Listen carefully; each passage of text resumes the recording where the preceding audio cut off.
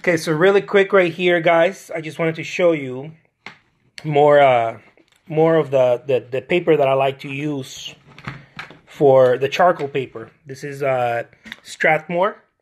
It's a charcoal paper that really it I, I think it's really good, especially if you're trying to do quick sketches or some type of drawing. Uh, duh, right? Drawing, but but it's it's just it's just really cool. I really like it. It's not too thick. Let me see how and this size is perfect. This size is really good. This is, uh, where's the size? Right here, 9 by 12. 9 by 12 inches. Very cool stuff. Let me show you. It's got that tooth, of course, right? Because it's for charcoal. It's got that little grid. That's to keep the that's to keep the charcoal from falling, right? It grabs onto it. It's sort of a, a, a like a prime with to like prime to paint. It doesn't have it on the other side, just uh, just on one side. I really enjoy it. It's perfect for the sketches, for the for the drawings, the ideas. This is a wave for a painting. Seascape. It's a wave. Uh, koi fish. I think it's a koi fish, yeah. But it's perfect for the for the ideas, right? You're ready to create some artwork and you don't know what to do, and you're like, man, I don't know what to do. Here, I have the cure for that start doodling a hundred of these. You know, start with twenty or whatever. Start doodling, doodling, doodling, and then and then you start getting those ideas. Most people want to have the idea right away. They're like, "Man, I want to paint, but I don't know what to paint, and I wish I had an idea." Uh, it's been my experience that volume volume of things creates quality.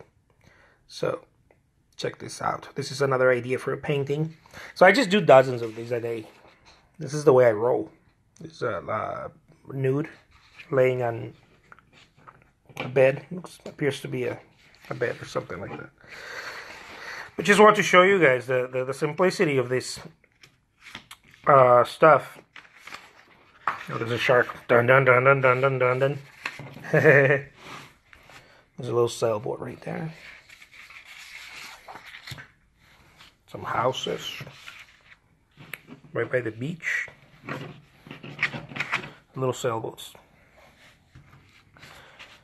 I really like using this this paper. So there you guys have it. Some of you have asked me what type of paper I use, what materials I use for for charcoal, and this is it. Okay, it's the Strathmore charcoal. Unless uh, an awesome company someday, it's like, dude, we have something better. You're gonna use it for free, and you're gonna talk about us. Uh, I'll probably go wear that before I sell out.